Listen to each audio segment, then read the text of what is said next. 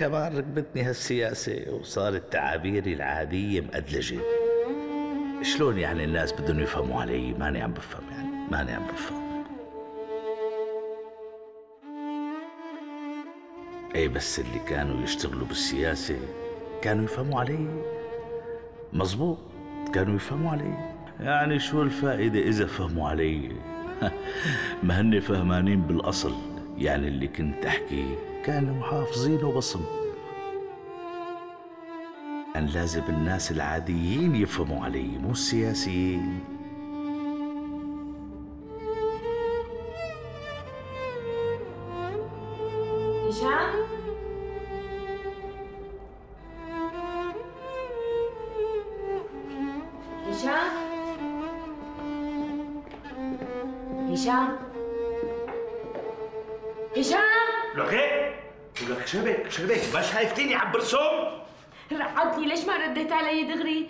ليش لهلا فايق؟ آه فيروز بدي أسألك هذا كتاب معجم الفلسفة. بتعرفي لي وينه؟ إمتى جبتوا هذا الكتاب؟ إمبارح؟ إمبارح. لك هذا جايبه من 30 سنة. آه. آه.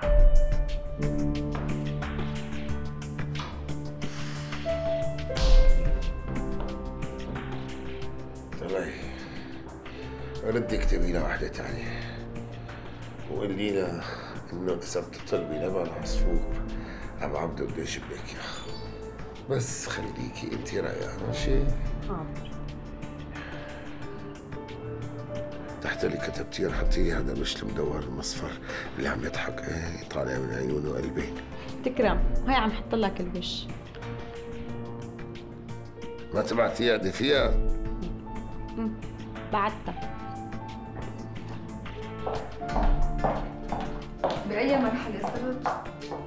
الصف الثاني. أنت مع الأزرق ولا مع الأحمر؟ أنا معي معي امم مشان هيك ما عم تطلع فيني. وعم تحاكيني أنت وعم تلعب باللعبة أنا؟ أنا إذا ما اطلعت عليكي قلبي بيطلع.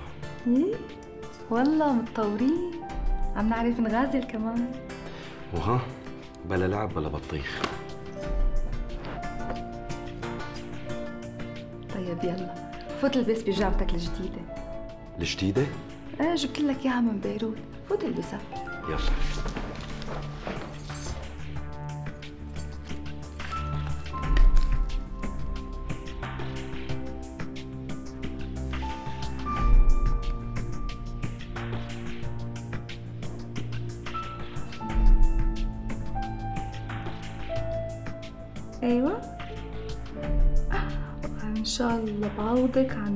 القصة يلي صارت يبعت لك هالكي قول القصة يلي ما صارت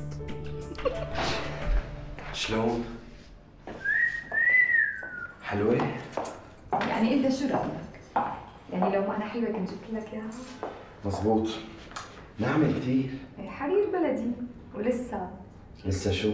لسه كمان بس تشوف البدلة اللي حاطط لك إياها جوا رح تنصدم مشان تلبسها بكرة بكرة؟ ليش شو في بكرة؟ بزعل منك. شو نسيت؟ نسيت شو؟ بكرة افتتاح المحل. إيه عن جد نسيت. اي يلا فوت قيس البدلة واطلع ورجيني إياها. بدلة بخزانتي. يلا. يلا يا حبار يبعت لك حمام يا ريته انكسر راسه لهالدب مو رجله.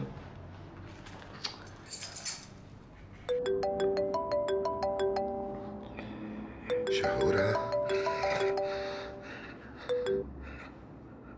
ألو؟ الحمد لله على سلامتك يا أبو عبدو. تقبري قلبي يا شهورة. والله والله أنا غلطان. معلوم معلوم غلطان لكن شو؟ لولا إنه انكسرت رجلك انشغل بالي ما كنت درت وشي عليك ولا كنت شلتك من أرضك. معك حق معك حق. والله أنا غلطان. في رجال بيعمل عملتك. الله يسامحك يا أبو عبدو لك لك ليش البكي ليش البكي الله يسامحك لا تبكي مشان الله لا تبكي. هيك هيك بتحرمني من أحلى يوم تتمناك البنت. لك مشان الله مشان الله لا تبكي. والله لحتى أعودك عن كل هالأيام. وخليك تنبسطي آخر اصطياش بس هيك كل شهر وبتطيب رجلي و... وبيمشي الحال. شهر؟ يبعك الحم عليك يا ابو عبدو ما عم صدق ما عم صدق. يا الله ليش هيك صار؟ شهورة حبيبتي بدنا بدنا نتحمل. شهر و... وعلى عكازة بصير. تتعكز لا. بدي يصير على عكازة بدي أتعكز ما عاد أحسن أمشي بدون عكازة يبعك لي حم عليك يا يا ريتني أنا ولا أنت. بعيد الشر عنك وعن عيونك. شهورة. إذا بدي يصير أمشي على عكازة ضلي بتحبيني؟ ليش شو دخل العكازة بالحب؟ بعدين حلوة العكازة كل البشوات بتعكزوا هيك قيمة. وأنت أنت سيد البشوات تلبق لك.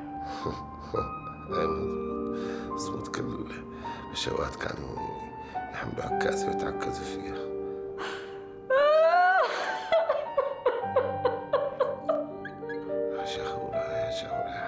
شو صرنا رجعنا للبكي يعني؟ مو بإيدي. مو بإيدي يا أبو عبدو. أنا ما عم بنسى فصلك معي. هيك. إنا لك سامحينا. والله. والله مو قصدي. شوفي ماشي أنا بعدين بحكي معك مع السلامة. شبكي ليه عم تبكي؟ رايبتي ماتت لا حول ولا قوة إلا بالله ماتت؟ شبك نطيت انتبه هلا بطق لك عرق. لك ما نطيت بس زعلت. والله زعلتيني عليها. إيه ما بدك الهاد. اقعد اقعد نتعشى. اقعد يلا. وإمتى ماتت؟ اليوم. شلون ماتت قصدي طبيعي ولا مرض؟ طبيعي. طبيعي أيوه. آه عندها أولاد؟ عندها عشر أولاد. البركة. ما شاء الله. قد إيه عمرها؟ 80 سنة. مو كبيرة؟ لا صغيرة. خلص بقى هلكتني قلبت لي إياها جنازة جبك يلا فوت شلاح البدلة بتاع نتعشى. عجبك؟ شغلة بتجنن. يلا. على راسي. السلام عليكم. عليكم السلام. عليك. مالك صباح الخير. عمي اليوم مسا تعباد مصاري. جابت لك مالك؟ إيه جابتهم اليوم مسا إن شاء الله بتجي بتزبط كل امورها إيه ماشي. بعد الظهر. منيح الساعة خمسة؟ خمسة وخمسة ما بيمشي الحال. خلص سيد راسي الساعة خمسة. بتقبض وبتقبضني والخانم؟ قالت لك شو بدها تساوي بالمحل؟ تنباع بالعزا شو بدك فيها أنت؟ ها، قلتك هلا المهم أنت. بات وقبضت شو بدك بالقصة؟ والله مو هاين علي بيعت هالمحل. حشات الذكر عمل زينة العقل.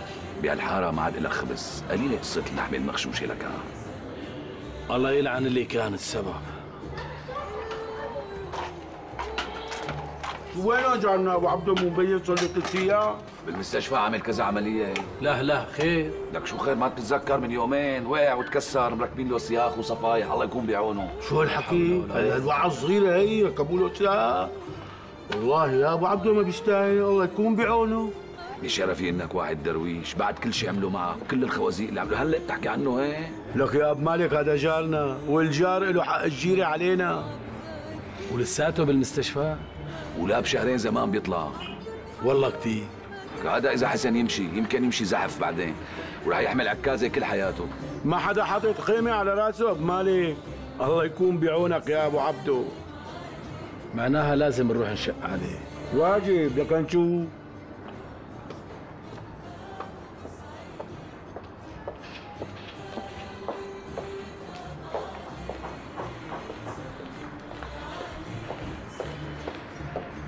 يخرب بيتك شو بكره هي هي اللي بعتها المحل؟ إيه هي. المهم قبض اللي بده إياه ولا أخذك ولا أعطيك معه المخلوقة.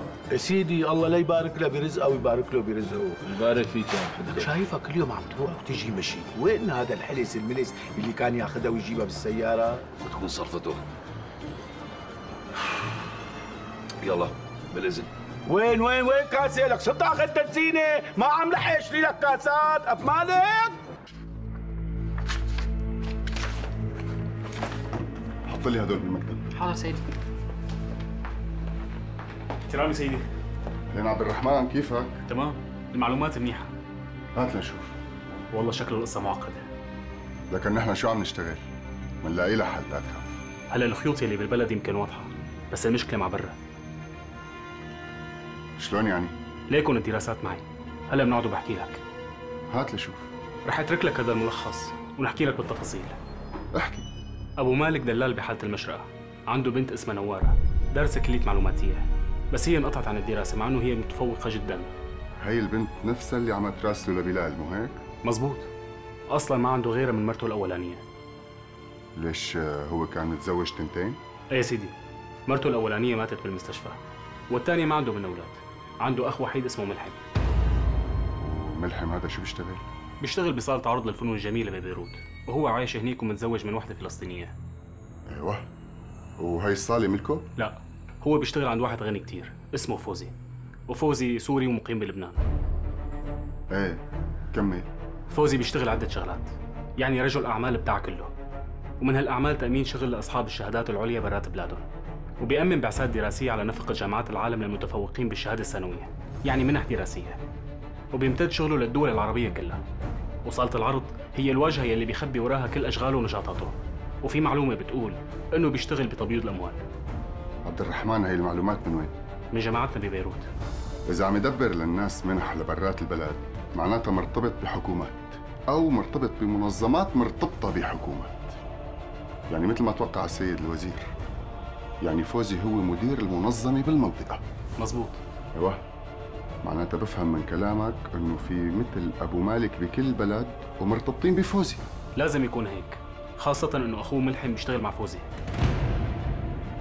بيشتغل مع فوزي. معناها هذا هو سبب الارتباط بين أبو مالك والدكتور تمام. يمكن يكون هو اللي عم يدبر له شغل برات البلد. خاصة بعد ما قلعوا المدير من المدرسة وصار عواطلي. احتمال.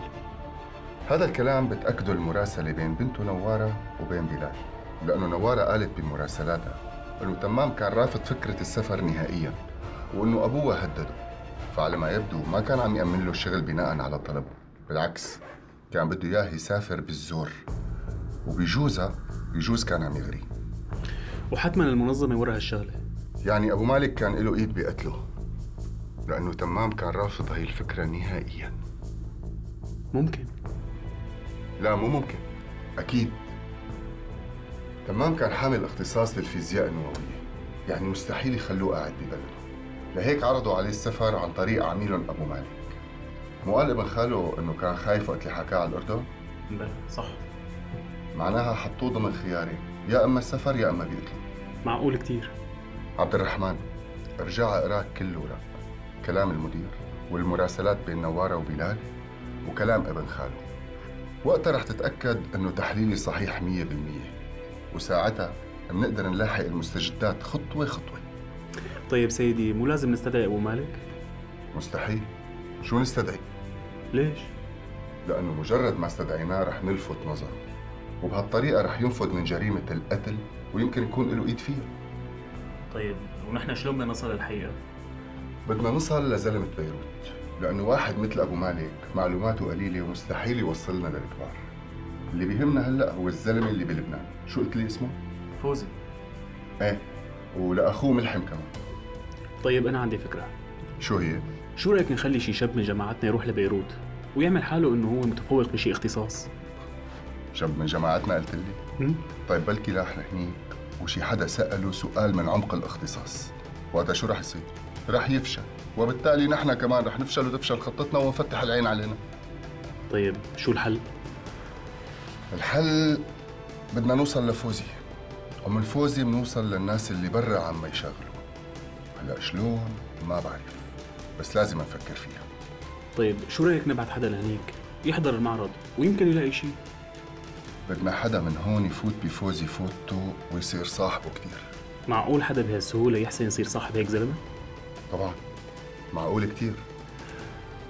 بس هذا لازم يكون له مواصفات تعجب فوزي ويكون حقيقي مو مزيف. شلون يعني؟ لأنه المزيف بينكشف بسرعة وخاصة مع هيك ناس. يعني لازم يكون شغله قريب من شغل فوزي ويكون مقنع لفوزي كتير على الأقل شغله العام. قصدك بالفن والنحت والرسم؟ إيه. لازم نلاقي فنان فنان حقيقي نقدر نعتمد عليه. طيب حتى إذا لقينا فنان يتعاون معنا شو بده يعمل؟ هلا خلينا نلاقيه بالأول وبعدين بيتعرف عليه بيشتري منه لوحات وتماثيل ببيعه ومو هذا المهم المهم يصير قريب منه ووقتها ما رح نعجز نخطط له شو يساوي. أنا برأيي الفكرة صعبة. أنا برأيي بس نلاقي هذا الزلمة ما بقى بيصير في شيء صعب. وإذا ما لقينا؟ إذا ما لقيناه بندور على طريقة تانية. والله يا سيدي أنا مالي متفائل. ليش بقى؟ يعني حتى إذا لقينا شي فنان شو بيضمن لنا إنه ينجح؟ شلون يعني؟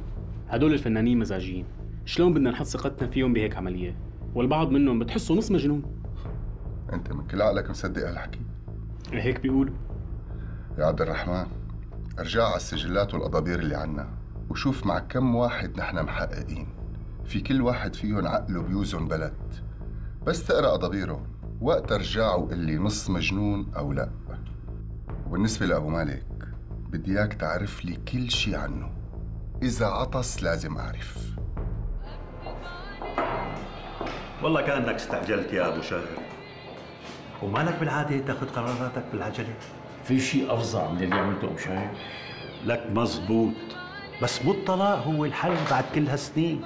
لكن شو؟ ضل عايش مخدوع لموت؟ لا لا لا. الله لا يقدر يا أخي. بس مو الطلاق هو الحل. عندك حل تاني؟ إيه طبعا. يمكن لو قلت لها أنك بتعرف شو عملت من وراء ظهرك كان أحسن وشو الفرق؟ الفرق يمكن كانت رجعت المصاري للزلمة رح ترجعه لا شلون يعني؟ هلأ أنت طلقتها وما بتقدر تجبرها على شيء لك شو على كيفها رح ترجعهم غصب عنها شو هالحكي؟ يعني شو بدك تعمل ها؟ شو بدك تعمل؟ رح تقول لك أنت طلقتني وبأي حق عم طالبني إني رجع المصاري ها؟ هيك رح تقول لك بحق إنه سرقت الزلمة على اسمي. شلون بدك تثبت ها؟ شلون؟ الزلمة بيشهد آه. شفت إنك تسرعت؟ هذا اللي صار. هذا اللي صار؟ بيشهد. قلت لي الزلمة بيشهد. يعني صار في محاكم وصار في شرشحة. إلك ولأم عيالك. شو بدك يعني أعمل؟ لك يا أخي طول بالك خليني كمل. أوف. لك هيك بتتشرشح أنت ومرتك وابنك وبنتك. كان الأحسن إنك تطلب منها ترجع المصاري للزلمة. افترض طلبت منها وما قبلت. ساعتها لكل حادث حديث. مو هيك على غفلة طلقها؟ وما بتعرف ليش طلقتها؟ ماشي يا محمود. اليوم رح روح على البيت وفهمها إني عرفت كل شيء بانه هي واهلها كذابين واستغفلوني ومشان هيك طلقتها. شوف النص الأولاني من حديثك صح أما النص الثاني بلا أوكي روح فهمها إنك عرفت شو كانت تعمل من وراء ظهرك. وبعدين يعني اطلب منها تصحح الخطأ يا أخي. وبما إنك طلقتها حط عليها شرط إنك ما بترجعها حتى ترجع المصاري للزلمة. شو رجعها؟ خلص انتهينا محمود انتهينا. لك هلا روق شوي أنت حط هالشرط شو خسران ها؟ ماشي يا محمود. النص الأولاني اللي حكيته فهمته بس شو قصدت بالنص الثاني؟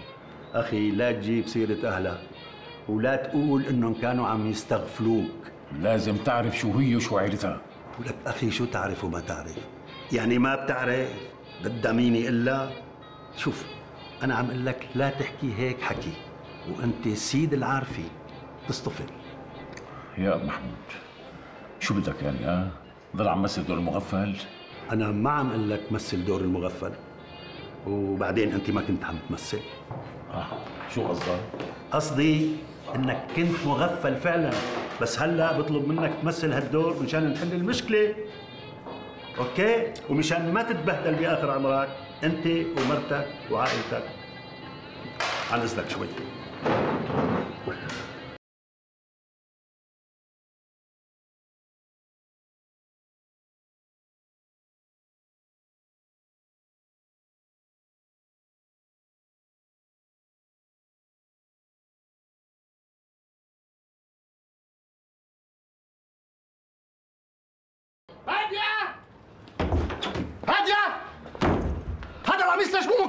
مو مكوي؟ شو في ليش عم بتعيط؟ أنا ليش عم عيط؟ أنا كم مرة صار عايد وفات صار قلت لك كذا مرة ما بحب إلبس غيرات مرتين، وقلت لك كوي القميص بدي ألبسه اليوم، ليش ما كويتي؟ عم أقول لك لا تقلي لي أنا شايف أمه مكوي، ليش مو كويتي؟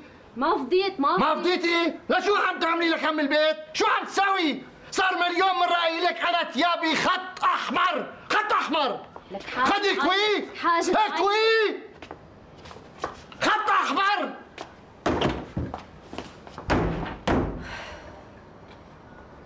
على راسي عمي. الفل والياسمين. تأمروني شي تاني عم محمود؟ شكرا. بقى يا سيدي هلا ما في حل تاني غير هالحل. معك حق. بس كنت بتتصور إنه مشاهد ممكن تعمل هيك. لا والله.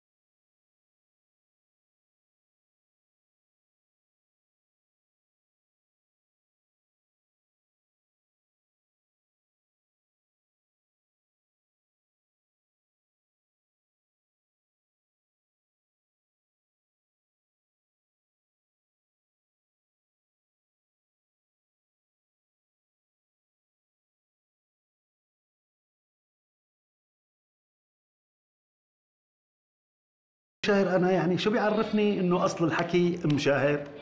ما بعرف. على العموم هلأ لما يجي أبو لؤي اسأله أول شيء كنا ندافع عنك قدام الكل كنا ندافع عنك بقوة.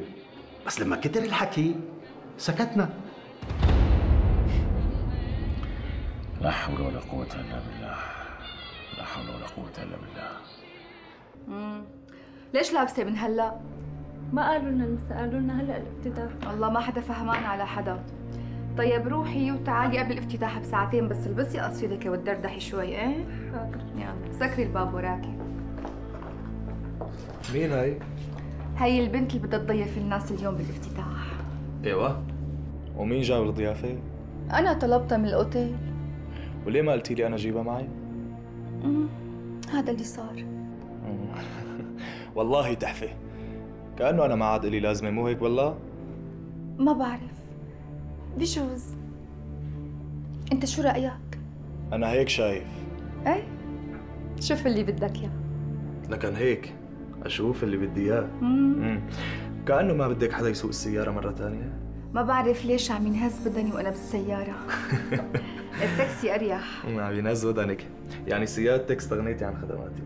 آه، سيادتي والله ما بعرف. انت اذا حابب تبطل مثل ما بدك. طيب. إذا هيك اسمحي لي بتعويضي مشان أمشي. أنا تعويض. تعويض شغلي اللي اشتغلته معي. قال مالك بالقصر غير من امبارح العصر. تعويض شو يا بعدي؟ والله مو على كيفك. بدك تدفعي تعويض وتعويض كبير كمان. وانت وعم تضحكي. كأنك أكل مقلب كبير بحالك؟ اي والله وأكثر مما بتتصوري يا ست الكل. يا ماما خوفتني. مو اليوم الافتتاح؟ امبلا ومو اليوم حضرتك داعي الناس الكبار ليجوا يحضروا افتتاحك؟ امبلا ومو انت اليوم طالعة قدامهم الست المحترمة؟ محترمة غصب عنك. مزبوط ما أنا اللي بعرف قديش محترمة. شو قصدك ولا؟ لا تقولي ولا احسن لك. ولا ونص كمان. فهمني شو بدك؟ ما بدي شيء ابدا. طالعي دفتر هالشيكات واكتبي لي شيك بمليونين ليرة. شيك لمين يا بعدي؟ إيه الشيك لواحد بآخر الحارة هون. إلي لكان لمين الشيك؟ وطي صوتك! حق شو بالله؟ حق تعبي. شغلي اللي تركته على خط بيروت. ولا نسيتي يا بعدي؟ أي والله يعطيك ألف عافية تعبت كثير بس مليونين ليرة مو كثير شوفي لا تاخدي تعطي معي كتير إيه؟ طالعيهم هلا وادفعيهم مليونين لأنه بعد شوي ما رح أرضاهم ولا ثلاثة. عم تسمعي؟ يلا. كأنك قابض حالك كثير أي والله. وكتير ها؟ إذا بتحبي جربي. شو بدي أجرب؟ جربي تقولي لأ. شو رح يصير؟ شوفي أحسن لك. طالعي دفتر هالشيكات واكتبي لي الشيك واختصري هالعي كله. إلا إذا إذا شو؟ إذا حاب اليوم يصير لك فضيحة بهالافتتاح المحترم. لا يا جمعة لا. أنت يطلع منك هيك هذا هذا بعد كل شيء هيك تكرم عيونك. بعد الافتتاح بدفع لك. ابدا لا. هالدقيقه بدهم يندفعوا إيه؟ هلا ما معي دفتر الشيكات. أصلا ما عاد معي مصاري سوري. لحظه لحظه لحظه لحظه معي عشرة آلاف دولار. بالصدفة هن معي. خدهم واصرف لي إياهم. اليوم عندي مصاريف كتير ولازم أدفع للناس بالافتتاح. بس آه، أنا لهلأ ما وافقت إنك تتركني وتترك الشغل. امسك هدول ما عاد يرجعوا. شلون يعني؟ امم قلتي لي شلون يعني؟ رح غيب ساعتين وأرجع. بدك تكوني محضرتي لي الشيك. سمعتي؟ وهدول ما لهم علاقة بالحساب؟ يلا. شاو. جمعة جمعة جمعة استنى شوي. حناني حناني شو عم تعملي؟ حناني مصاري عشتك اسمي حجم علي. يا بعدك حجم علي. لا مش عم تكذبي. لا عم تكذبي. يا جماعة. شو عملت فيني؟ لك عم تقول لك يا لك عم تكذب لك عم تقول لك يا برضه تقول لك يا برضه لك عشتك اسمي لك عم كذابة كذابة يا شباب والله ما عم بدلها شو المصاري لك المصاري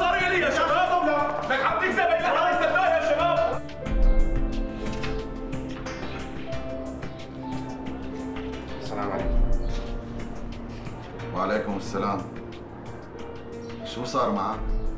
انباعوا ال 200 نسخة وجبت الإيصالات مشان التسديد؟ إيه طبعا عمي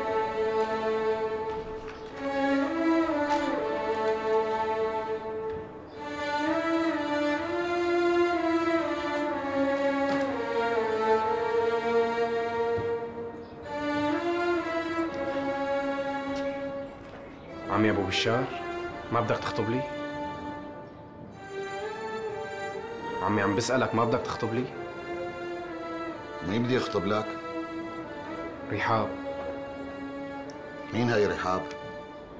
البنت اللي إجت هي وأمها لهون ما عرفتها اللي زعلت مني من شانها هاي البنت اللي كنت بدك تقضي على مستقبلها بولدنتك؟ والله مو هيك القصة عمي والله العظيم مو هيك القصة يا عمي أبو بشار لا هيك. تصرفك ما له تفسير تاني ابدا. طيب مثل ما بدك. لا مو مثل ما بدي. أنا عم فسر لك فصولك الناقصة مثل ما بدي. أنت عملت فصل ناقص. عملت شيء مو شغل رجال بنوب.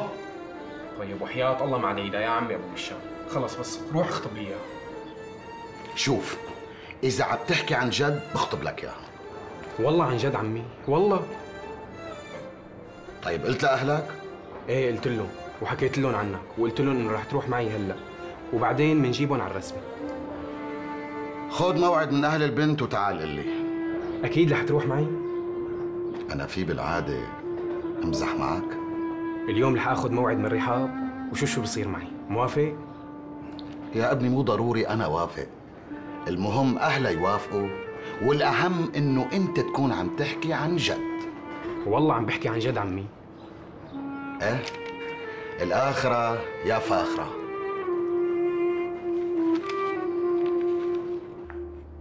سيدي هون في أسماء كل الفنانين. بس بتخيل إنه ما في غير فنان واحد ممكن يخدمنا بقضيتنا اللي شرحت لكم إياها.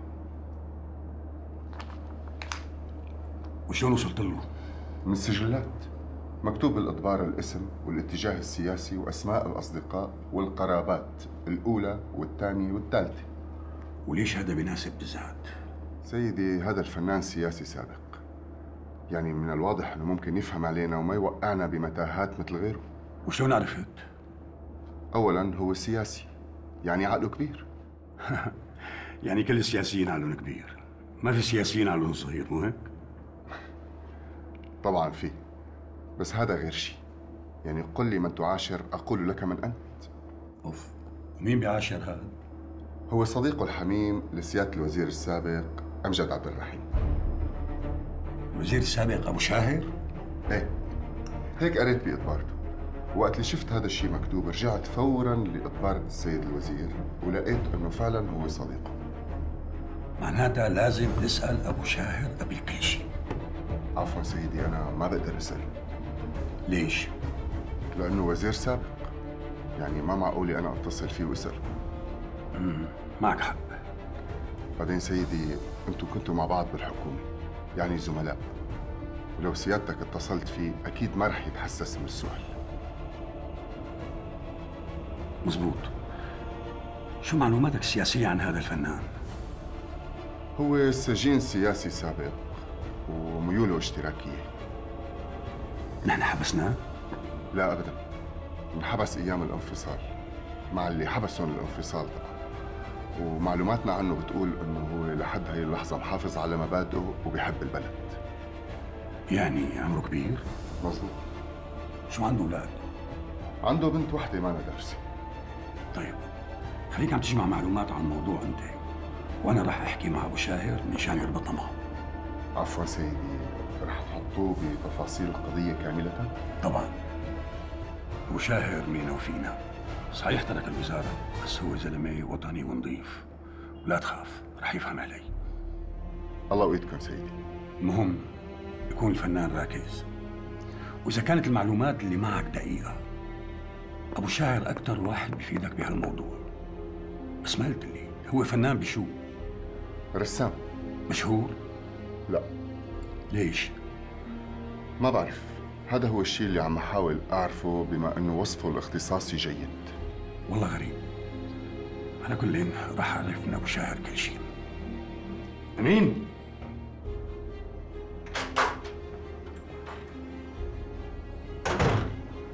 حاضر سيدي. صلي بالوزير السابق أمجد عبد الرحيم. حاضر سيدي. هلا ما في غير هالقصة هي نعملها ما فهمت كيف يعني؟ يعني ما في غير إنه نبعث له فنان. سيدي هذه أفضل طريقة وهذا أفضل حل وبعيد عن الشك لأنه من غير الوارد إنه يشك بالفنان. هذا اولا. ثانيا من حسن حظنا إنه لقينا لهذا الفنان لأنه ممكن يكون فوق توقعاتنا وأفضل بكثير من تصوراتنا. مم. إن شاء الله. شو صار معك يا أمين؟ على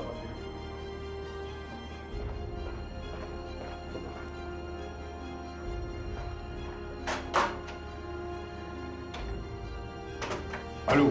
يا ميت اهلين وسهلين من زمان ما سمعنا الصوت الحلو يا حاجتك بقى. شو بدك تتغدى فيني قبل ما أتعشى فيك؟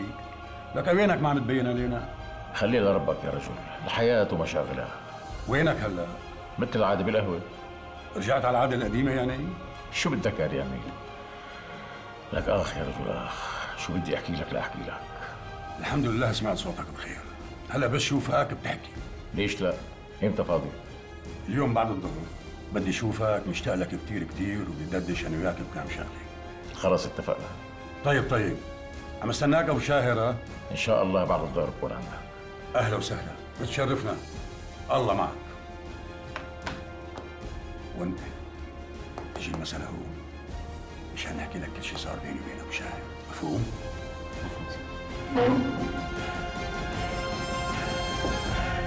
وما لقيت له غير هجم وسحب هالدرج. وأخذ منه المصاري. وأنا صرت صرخ صرخ صرخ. اللي صرخي الباب مسكر. ما حدا بده يسمعك. إيه وبعدين؟ خفت ارتعبت. قلت لا ما لازم اسكت. فزيت لأخذ منه مصاري شقة عمري. قام زتني على الأرض هيك وإجا وقطع لي زرار القميص. شوف شوف شوف أنا يعني قاومت قام لما شافني هيك فتح الباب وهرب لحقته قلت يا ناس حرامي حرامي حرامي وبعدين شو صار؟ خليهم يحكوا لك أنا ما عم بقدر احكي تعبت طيب مدام طيب طولي بالك طولي بالك. روحي هلا ارتاحي وصدقيني إلا ما أخذ لك حقك تفضلي. والله لربي فيك الحرامية والله. مفتكر الدنيا سايبة ولا؟ كذابة سيدي. هي وحدة كذابة. وشو ما حكيت لك وحكت وقالت كله كذب. خلاص ولا؟ هي جريمة ثانية أنت عم تتبلاها فيها. قدح وذنب وهي وحدة ما بتستحي سيدي. عم تتهمني إنه أنا حرامي؟ أنا اللي بدي أرفع عليها دعوة مو هي. واسألها هي بتعرف ليش خلاص ولك خلاص وجاوب على قد السؤال قل لي لشوف شلون أخذت منا ال 10000 دولار؟ أنا ما سرقت منها شيء سيدي وهدول الدولارات تبعاتي شلون تبعاتك؟ شلون يعني تبعاتي سيدي؟ تبعاتي إلي شو قالوا لك بالعالم كله ما حدا معه دولارات غيرها؟ وليش عم تتهمك بالسرقة لك ها؟ والله هذا السؤال بدك تسألها يا لا لأنه أنا ما بعرف جوابه يعني هي أعطتك المصاري؟ سيدي فشرت أنا ما حدا بيعطيني. هدول الدولارات تبعاتي ومن عرق جبيني. إيوه. قلت لي من تعبك وعرق جبينك وشغلك. عم تشتغل عندها شوفير ومعك دولار. يعني عم تقبضك بالدولار؟ طبعا لا. بس هدول الدولارات أنا مصمدهم من أيام كنت أشتغل على خط بيروت. طيب أنا رح حاول صدقك. ليش حاملهم معك وجايبهم على شغلك؟ ولا شيء سيدي. كنت جاي اصرفهم بالسوري. منيحة كثير. وهي شو عرفها إنه أنت معك 10000 دولار؟ أنا اللي قلت لها سيدي ولما عرفت صار بدها تحتال علي وتاخذهم مني. شلون يعني تحتال عليك؟ الله وكيلك يا سيدي ساعة بتجي بتقول لي هات لتاجر لك فيهم على خط بيروت وساعة بتقول لي هات لأشتري لك فيهم ذهب. سيدي هي وحدة داهية. وطبعا أنت ما قبلت. طبعا ما بقبل سيدي ما بدها تسرقهم. اسمع يا جماعة التهمة راكبيتك من راسك لرجليك وهدول المصاري مو مصاريك. هدول مصاري المدام وأنت كنت بدك تسرقهم منها. مو صحيح هذا الكلام سيدي مو صحيح. لا صحيح. طيب في شيء يثبت هذا الحكي يا سيدي؟ رح أثبت هالحكي بس قبل ما أثبت بدي أسألك سؤال. تفضل. فيك تقول لي ليش هربت من المحل؟ أنا ما هربت يا سيدي. طلعت مثلي مثل كل الناس. وليش هربت من الناس؟ يا سيدي ببساطة إنه أنا لما طلعت لبرا صارت تصرف قدام الناس حرامي، وأنت بتعرف الناس شو بيعملوا لبين ما يعرفوني إنه ما دخلني، الله وكيلك بيقتلوني. طيب أنت فرجيت الدولارات للمدام؟ أي طبعا شافتهم سيدي. عدتهم بإيدها؟ لا سيدي، أنا اللي قلت لها إنه هدول 10000 خذ هالمفاجأة لك. أنا مفاجأة؟ أنت رح تنحكم ثلاث سنين سجن. هذا إذا ما عليك سوابق وإذا المدام رفعت عليك دعوى قدح وذم الله بيعلم قديش محكوميتك. لذلك رح أنصحك نصيحة لوجه الله. بكرة رح تتحول على النيابه ونصيحة اعترف بأنك أنت سرقت المصاري. وهذا الشيء بخفف عليك حكمك. طيب إذا قدرت النيابة سيدي تثبت علي أي شيء هداك الوقت تشنقني. أنا قبلان. إيه؟ أنت حر. لا تضحك. بكرة رح تبكي. شايف هدول الدولارات؟ إيه شايفهم. هدول الدولارات أقل من 10000 دولار. وهي الورقة بتثبت الدولارات اللي أنت سرقته من المدام والأرقام اللي تحتها خط هدول الدولارات اللي سرقتهم من المدام وكل شيء مو تحته خط. هدول بين إيدين المدام. وهي الورقة صادرة عن مصرف لبناني. شو قلت؟ اللي تفضلت فيه وحكيته يا أبو شاهر على العين والرأس. أنا معه. بس في نقطة أنا بخالفك فيها. أنا ضد طلاق ست مشاهير والله يا أبو لؤي اللي ايده بالنار مو مثل اللي ايده بالمي مزبوط بس على الأقل فهمها ليش طلقتها. بتكون هلا عم تضرب اخماس بأسداس. ومو بعيدة تكون فهمانة إنك طلقتها لأنها كبرت وختيرت. ويمكن عم تفهم بنتها هالشيء يا جماعة قلت لكم رح فهمها ليش طلقتها. والله يا أبو شاهر أنا رأيي لو فهمتها ليش طلقتها سواء فهمت ولا ما فهمت أنا برأيي عيب تطلقها بعد هذا العمر يا أخي. هلا أنتم بدكم يعني ضل مغفل يا جماعة. لك يا أخي اهجرها كم شهر ربيها. يمكن ترجع لصوابها ومصاري الزلمة. بترجعهم وبتعتذر وبتقول إنها غلطانة كل شيء لحال. مزبوط. ليش مين فينا ما بيغلط؟ بس مو هي غلطة يا أبو محمود مو هي غلطة. بالك يا أبو شاهر بعرف حالك بيوزن بلد شبنا بدكم شيء قبل إيه؟ لك مثل شو؟ يعني قهوة شاي زهورات للوزير. خلص جيب لنا واحد زورات واثنين قهوة. اثنين قهوة واحد زهورات كبيرة. نعم حدا قال له كبيرة. طول بالك يا أخي بتعرف عائلاته خلصنا بقى. رح اشرب كاسه زورات وامشي بكير أبو شاهد قاعدين؟ دوبني اوصل على بيتي مشان اغير ثيابي قلت لك عم نام هنيك بعدين اليوم بعد الظهر عندي موعد مع وزير الداخلية. خير إن شاء الله في شيء؟ لا لا ابدا. حكى معي بشوي حابب يشوفني ما في أكثر من هيك يعني. إن شاء الله خير يا أبو شاهد. والله أنت ما بتستاهل إلا الخير. وأنتم ما في منكم أنتم أكثر من إخواتي. سيدي هدول الترسة ذهبين لبعض منيح. إي والله. منتصر أنا بيعرف دكتي وعيات هدول شوارب. بيضحك أكثر بيضحك لا وحياة أبوك ما عاد تحكي غير اللي حكيته. خلص هلا خلينا نسمع البرنامج الإذاعي يلي مقدمه الشاعر الكبير منتصر. تفضل. هلا هو لساته مجرد فكرة. فكرة برنامج. وأنا كتبت الحلقة الأولى منه يعني بايلوت وراح أقدمه لمدير البرامج.